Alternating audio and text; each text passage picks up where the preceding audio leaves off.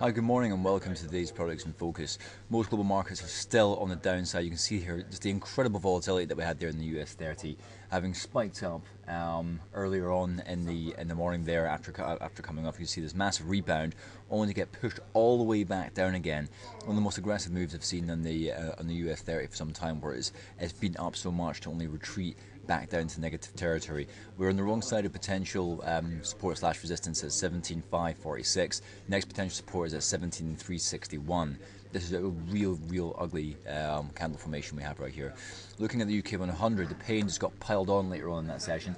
Um, where that sell-off continued as the right in oil um, kind of spilled over, really hurting a lot of uh, like BP, Shell, um, Premier Oil, a number of other um, oil companies, a lot of mining companies as well, who've got um, big stakes and, in energy, uh, BHP, Rio, all the miners got really badly hurt yesterday as well, uh, and now we're at 6,400.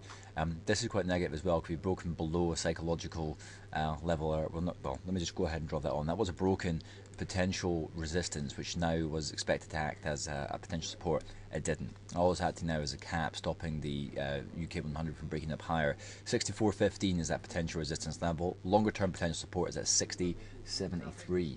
And crude oil actually broke $60 overnight, but we'll come back to that in a second. Japan 225 um, managed to rally back up to potential resistance 17496 again capped long legged candles yesterday, another long legged candle today, uh, as dollar yen has managed to, well, the US dollar managed to make up some lost ground against um, the Japanese yen, but not a huge amount. Um, and we had some data come out from China as well, which was okay. Um, retail sales was better than expected, but industrial production was worse than expected.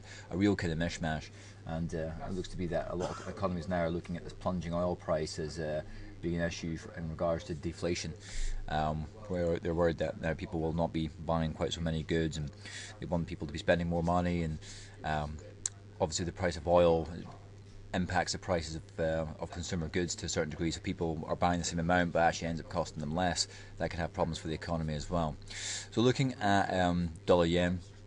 You can see the volatility we had yesterday. We're trying to push on that a little bit higher today. The US dollar wants to go higher. Ultimately, the fundamentals behind the, the greenback are, are a lot more positive than you know the eurozone, for example, where they're talking about stimulus and cutting back. Um, potential resistance is going to be at 119. We t- ticked our head above there yesterday. Again, there today. Um, fingers crossed we're actually able to get our head above that again to be able to re-challenge uh, you know 121.80. So moving on to crude oil, West Texas, uh, it broke 59.50, uh, which is obviously a level we've been looking at for uh, quite a while. The next potential resistance is uh, quite a bit further away. Uh, I need to go into my weekly charts here for a second to, to really try and find something more suitable. Um, people ask me, well, where, where, where's the floor in this? Obviously, it's wherever the Saudis want it to be. Um, I think you can probably pick out a level there of um, around about $55 potentially. Uh, maybe we can even no. It's probably to be fair, I probably have already about here. So around about um, fifty-four dollars eighty cents. Um, that's going to be as a, a, a, next potential level for us to go ahead and have a look at. So um, could be acting as a cap now at fifty-nine fifty. It's very very low for crude oil. We know we were at one twenty not long ago. So very interesting to see how that pans out. Gold has lost uh, some of its momentum.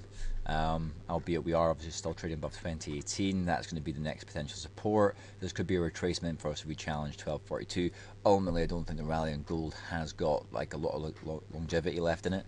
Um, interest rates, US dollar will come back into focus at some point, uh, albeit there has been an extended period of profit taking after such strong rallies across most of the other FX markets. So, um, gold already down today. Gold is quite volatile. As soon as uh, safe haven status elements come into play for Japanese yen and gold, you know this this could still be quite interesting, and uh, people are certainly looking a little bit more fearful out there in regards to the short-term moves on the equity markets, especially when you look at the chart here for the UK 100.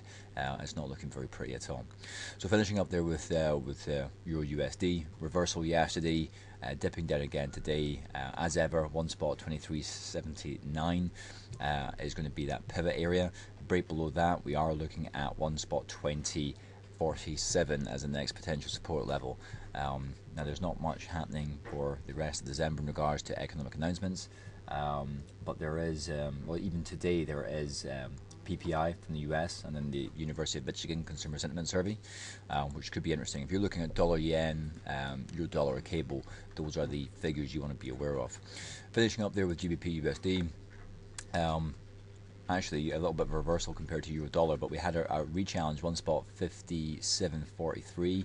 Um, it's ticking down ever so slightly now, but uh, it's almost um, the last couple of sessions almost a mirror image of what's come out of euro dollar. So we might actually have a bit of momentum here. So this could be kind of interesting as a potential breakout at one spot, uh, 57.43. Uh, depends where the UK sits versus the other uh, countries out there. So we've already covered coming out today. Let's see what's actually happening on Monday. Uh, not a huge amount. Tuesday, uh, you've got okay a whole host of UK data: UK CPI, PPI. ZEW business report from Germany. So if you're, you're a dollar cable trader, there's certainly enough to keep you going.